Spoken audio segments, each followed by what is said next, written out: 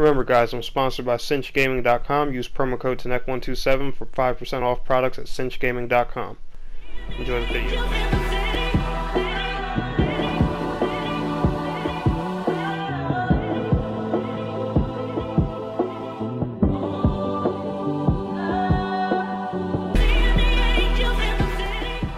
Baby, oh baby, gamers and gamettes, what is going on? My name is Tennek127. Welcome back to another gamer gaming news video. Now, um, please forgive me.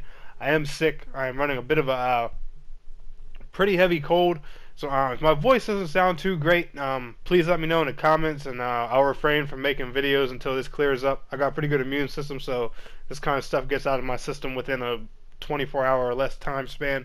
But um, I'm I'm one of those types of guys that you know I don't like to you know call out of work sick unless you know the boss sends me home. So you know I'm gonna try you know make videos you know. But if my voice sounds like you know too bad and you guys you know it's bothering people or you know I don't sound good, let me know. I'll take a I'll take a day or two chill from making videos. Now we back on point. But anyway, guys, that's not the point of this video. We are bringing some more Let It Die PS4 news. And as you guys know, me being the Andy Wong interrogator boy, I um got some hands-on time with the developers. And I gotta say, hands down to GungHo and Grasshopper.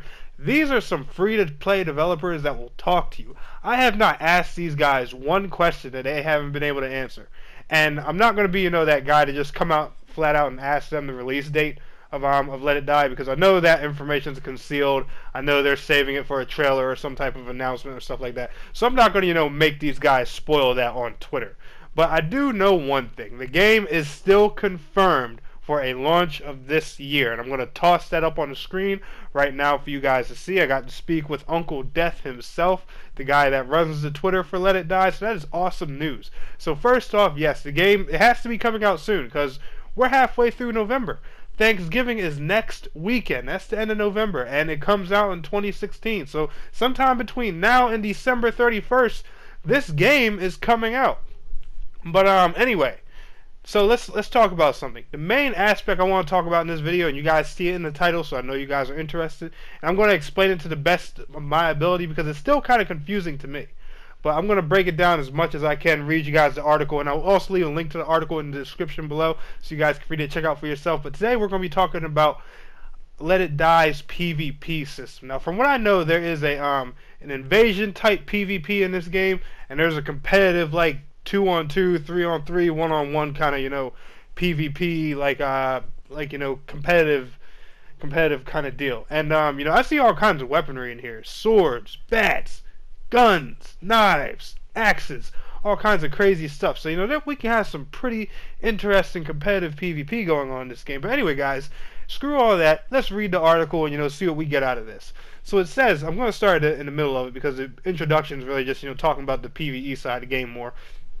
It says, once you familiarize yourself with the Tower of Barbs and had a good chance to die a few dozen times, you may start to notice the world around you changing just a little, and in a very literal way you may become your own worst enemy. Haterification. Now, guys, keep that in mind. Haterification is the name of um the uh the PvP concept in here. Like um, you know how you know in Dark Souls you get invaded by a um by um an invader or you know a red soul you know whatever they're titled titled as. Well, they're titled in here as haterification.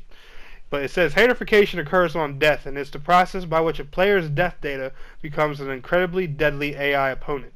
These haters can be seen roaming the world with noticeable gamer tags. So we're going to stop there. That means that you know when you die, you create an AI version of yourself to attack other random players in their worlds. That's a crazy thing. Your gamer tag will also be on on that thing. So if you know if you die like some legendary badass, your ghost is going to attack people as a legendary badass. That's pretty cool.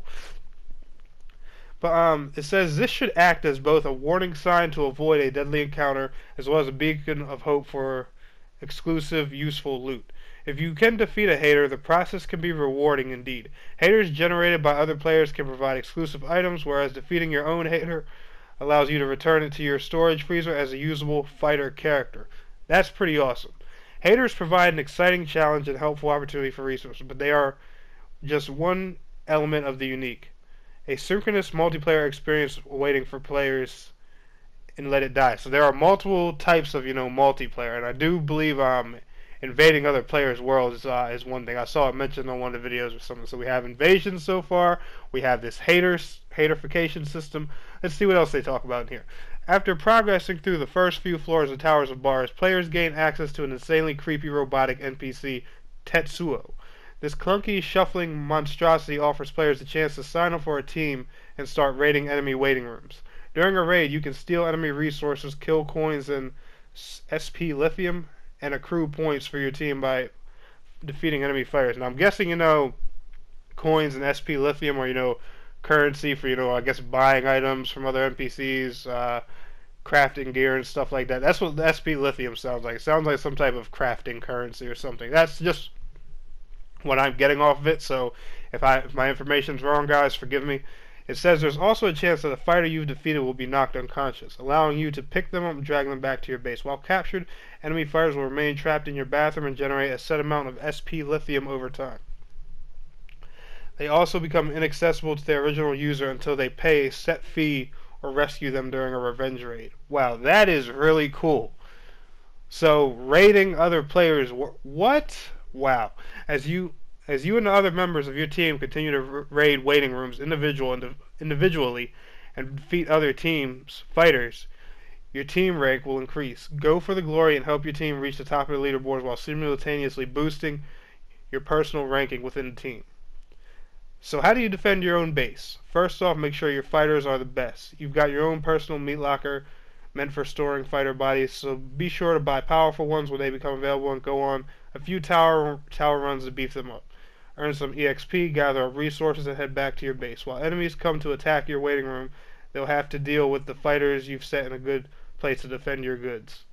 This game has a lot of potential for just, you know, long term play like this multiplayer rating and stuff all these you know different experiences you can experience every single time and not to mention you know that you know if they bring future content to the game and update it constantly. What? Wow. I'm i'm, I'm honestly shocked.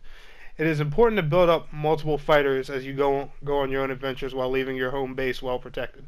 Just as you're you're able to snag your opponent's resources they can do the same to you. Upgrading your Buffalo Bank, your kill, which is your um, kill coin storage, and SP Lithium Tank will not only allow you to accumulate more resources, but will also increase their HP to allow them to survive longer during raids. So okay, you raid other players' bases by going against their um their AI built uh, soldiers, I guess. That's pretty cool. So I wonder if you know if you go and raid this solo, or if you and a few friends go and do that. That's what I'm wondering now. Finally, if you are starving for resources and reputation, you can send fighters you have in storage out on expeditions. When you do so, they show up in another player's world as a hunter. Like haters, they are quite tricky to defeat. The primary difference is that they will wander your opponent's world for a set amount of time, gathering up all kinds of useful goodies. If they can kill your opponent's fighter, they will also collect SP lithium. This roaming period lasts until their timer runs out. The enemy hater or the enemy ah, the enemy player can defeat the hunter. There is no punishment for having your hunter defeated early, so feel free to send them out as often as you like. Just keep in mind if they aren't hunting, they aren't protecting your base. And with that, you're ready to start your quest toward infamy. Will you be the one to guide your team to the top of the charts? Climb the Tower of Barbs, build your army, and test your mettle. This is how we let it die. Now that is a really cool and unique PvP system, and that ain't even all of it. That's not even all of it. That's not even, you know, breaking down the invasions and the competitive PvP side. That's really cool. So there's a actual raid system where you go and raid the bases of other players for, you know, characters that they have actually built up from scratch that are running on a, you know, a difficulty of like um of like AI invaders in like Dark Souls or something. That is really freaking cool. But I'm gonna leave this article down in the description below for you guys. If y'all enjoyed this video and you're excited for Let It Die, be sure to give it a thumbs up. But I want to thank you all so much for watching. It's your boy Tennek127, and please don't forget to like, share, and subscribe. And I'll see you guys in the next video.